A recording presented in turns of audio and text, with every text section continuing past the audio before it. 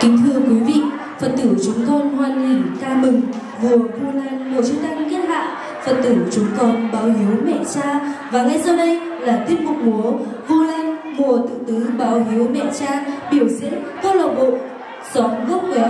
Xin mời quý vị cùng đón xem.